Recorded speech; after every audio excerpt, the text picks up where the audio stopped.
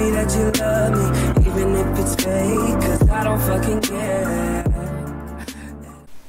Hello guys, welcome back to my channel. You know who this is. Okay, vlog nga pala guys. Ngayon ituturo ko paano nga ba gumawa ng YouTube intro gamit ang Fansoid. Okay, sige guys, ah, tara. Open natin Google Chrome, yung ating browser. Type lang natin guys, uh, Fansoid. Ilalagay ko yung link ah, sa description box para madali nyo mahanap. So type lang natin fansoid.com. So enter.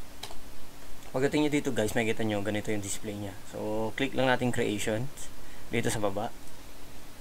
Tapos, yan, pili ka na trending, latest, top, or following. Pwede kasi mag-create niya kung gusto mo. Ayan, oh. Home, kay creation, play, create ka. So, select tayo guys kung anong gusto nyo. Ito yung huling ginamit ko guys, ka, galing kay uh, kay Xenon Intro. Intro, sorry. Ito, click natin. Ito yung ginamit ko nung huli. So ngayon, pili tayo ng bago, yung ginamit ko ngayon sa video na to. Galing din sa kanya. Kung gusto niyo i-follow niyo siya, pwede naman. Okay? So, dahil gagawa tayo ng intro, balik tayo pakita ko sa inyo. Latest, top, uh, following, yan. Tsaka lang pipili trending, ano ba yung trending. O, click natin to si, si ano, si Zenon. So, click natin tong Epic Hello intro. So, open in Clipmaker. So ngayon, try natin kung ano yung video na makapakita niya. Pinaan natin.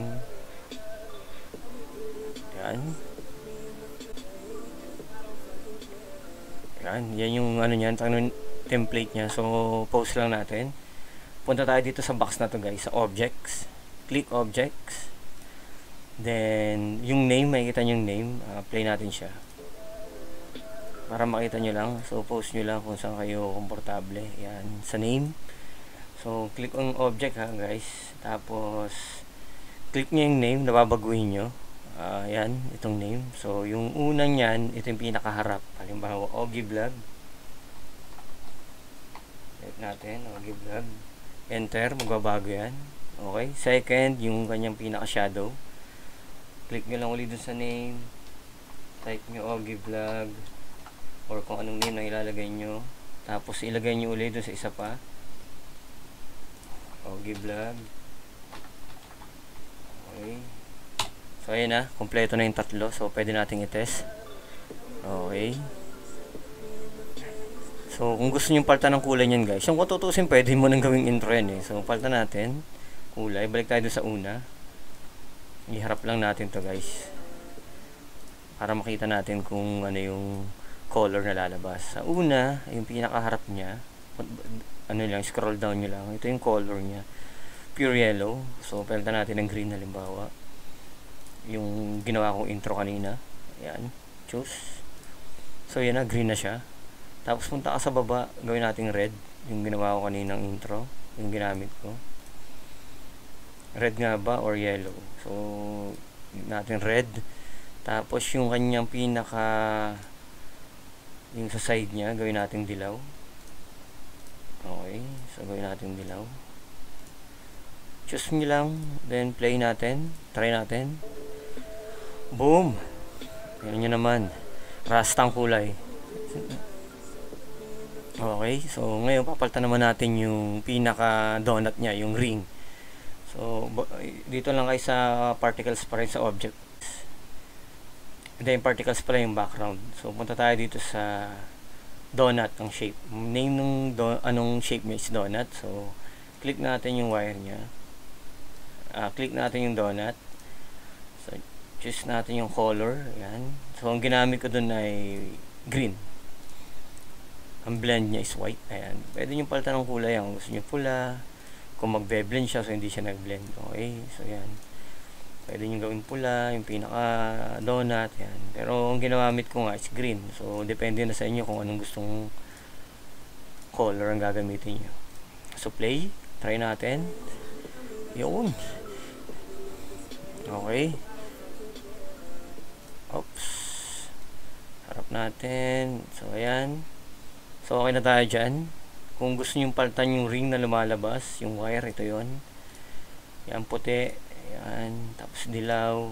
Ayan, hindi ko nababaguhin yan guys. Kasi maganda yung ano niyan eh, yung ring. Yung nakikita nyo parang may lumalabas. Pakita ko sa inyo.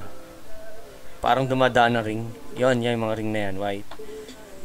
So, hindi ko na babaguhin yan. Yung dilaw, nagiging orange. Okay, yung particles niya, kita nyo. Yun, yung parang mga gray. Pwede natin baguhin niya kung gusto nyo. Punta lang kayo sa particles. Ayan, group. Click nyo yung particles niya. Teka. Click particles. Dalawa lang naman naging kulay niya sa likod eh. Okay. So, nakalagay sa kanya ito. So, pwede natin yung galaw-galaw yan kung gusto nyo. Yan. Kung anong kulay yung lalabas. So, yan. Kung anong gusto nyo. Yan. Magbabago yan. Punta kasi isang particles. Okay. So, hindi na natin masyadong babaguhin kasi okay na yan. Halos green din naman. Play natin.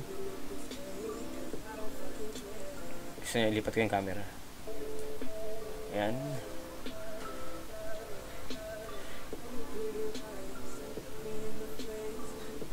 Yan, kita nyo naman. So, pag pinili natin, mag-iiba yan mamaya guys. Kasi gawa nung pinaka ano niya, frame. So, post lang natin. Pwede nyo baguhin yung particles niyan guys kung gusto nyo. Okay. So, yan. Kita nyo na yung light. Kita nyo yung particles. Andito lang sa taas. Yung name, object. Andito lahat yan. Okay. So, ganun lang guys ang pag edit So, ngayon, sisave na natin siya. Click nyo natin sa taas. So, dito. Dito sa may tatlong guhit sa may taas, sa may left side, sa menu. Click nyo lang yan, then download. Start. So, block lang natin. So, guys, uh, OG Vlog nga pala. Don't forget to subscribe para lagi tayong updated sa mga video. So, yun lang natin. Medyo matagal. A few moments later. last 10 seconds tayo. Yan. Ganun lang naman kabilis mag-save nyo pag mabilis yung internet nyo. So, napakabilis lang ma-save niyan. So, ayan na. So, download your video. Ayan. Magda-download yan. Makikita nyo sa side. Ito guys. So, ayan. Video3.n So, i- i-ano lang natin yan. I-convert na lang natin sa MP4. Online din. So, view na natin guys. Yan ah. Para makita nyo lang ng buo. Yun. Tamang transition niya napakaganda.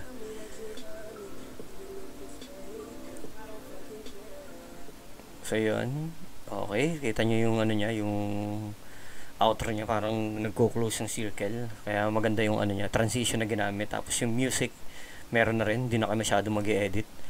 So, yun lang guys. Ah, napakasimple naman ng tinuro ko. Kung gusto niyo mag-create, pwede naman kayong gumawa dyan.